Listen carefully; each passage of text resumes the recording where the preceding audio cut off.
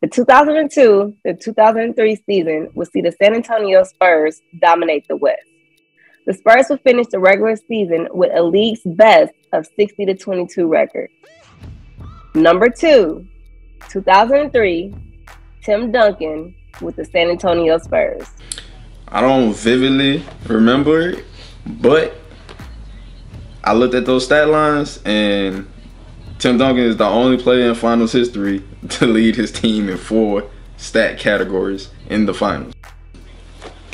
Let me tell you something about Tim Duncan and those damn Spurs. They have won all all five of Tim Duncan's championships have came minus probably the asterisk on that last one because that was a hard fought finals against the Heat. Outside of those, the first one was a lockout year, so nobody was really ready. This was the second one against the Nets. Tim Duncan will win his second consecutive MVP award in the 02 to 03 season. Now known as the Big Fundamental, will be the front man for the Spurs, leading the San Antonio Spurs in points, rebounds, blocks, and field goal percentage throughout the regular season. Who did they play? The Nets. Wasn't this the year that Shaquille O'Neal left the Lakers? Mm-hmm. So they didn't have to deal with the Lakers in the West? Mm-hmm. Ah. In the playoffs, the Spurs will beat the Suns, Lakers, and Mavericks on their way to the finals in a matchup against the New Jersey Nets. Okay. Um, you said uh, you said the center, no, the power forward at the time for New Jersey was Kenyon Martin, right? Ah.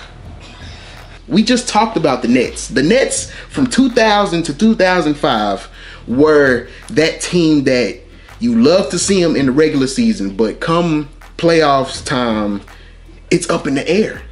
Wasn't one of the big things that we talked about degree of difficulty? Jason Kidd was was the was the facilitator of his time. He was. But the East was deplorable. There was nobody in the East. Against the Spurs, we're talking a a, a Tim Duncan, Manu Ginobili, Tony Parker, all in their prime.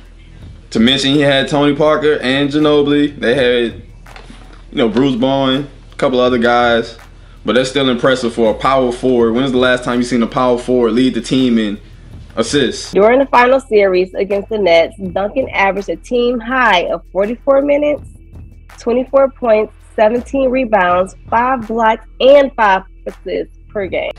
Look, I say this has to be on the list for the sheer amount of just stats and dominance defensively that Tim Duncan had in this finals. I don't think I can remember a defensive dominated finals more than I can remember this one. They they were the I would say the quintessential big 3 because they played the game how it was meant to be played, which is through a team, through very strong fundamentals. If you want to think of okay, what was the what was the NBA finals performance in history that mainly was more defensive than offensive, the first one you go to is this San Antonio Spurs team, this Tim Duncan, this iteration of Tim Duncan where he was probably what Giannis is now. The trio of Tim Duncan, Manu Ginobili, and Tony Parker would start off the Big Three era in the NBA. As the Spurs will go on to win a 42 series over the Nets. Tim Duncan and the Spurs will remain a high level contender in the NBA over the next decade. And Duncan will finish his career with five NBA championships, three Finals MVP awards, and Tim Duncan's time with the San Antonio Spurs would help mold the reputation of the Spurs, who are regarded as one of the greatest teams in NBA history. Out of question, the unanimously known best defender in the league. There was a point where Tim Duncan had that for five years straight. And this was in the height of that. So um, I don't know if I like it this high. It wasn't just Tim Duncan, obviously. It was, a, it, you know, it was a team team victory. You know, everybody put in to win the championship, but Tim's stat line was just so unique.